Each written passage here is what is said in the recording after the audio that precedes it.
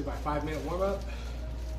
And, you know, got this new rope. Ideally, throwing this one.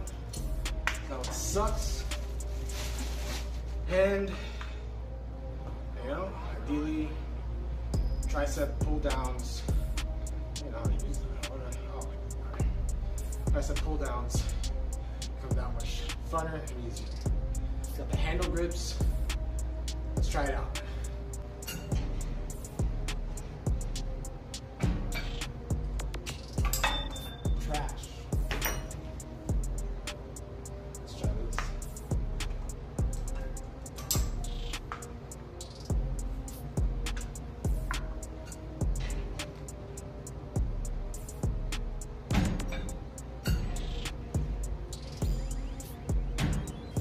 It's a game changer.